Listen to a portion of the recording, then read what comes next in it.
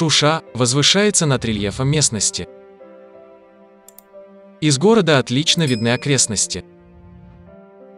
Шуша буквально нависает на несколько сотен метров над всеми дорогами и холмами.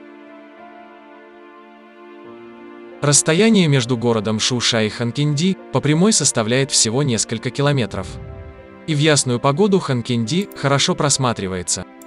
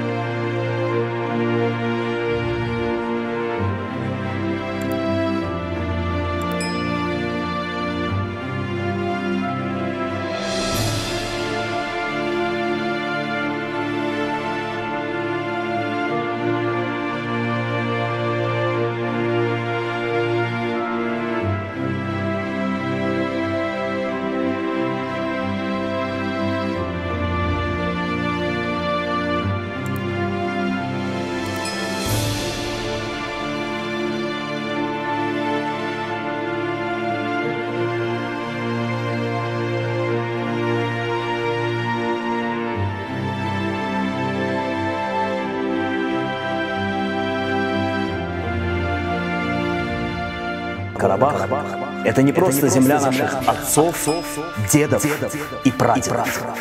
Это земля наших детей, внуков и правнуков.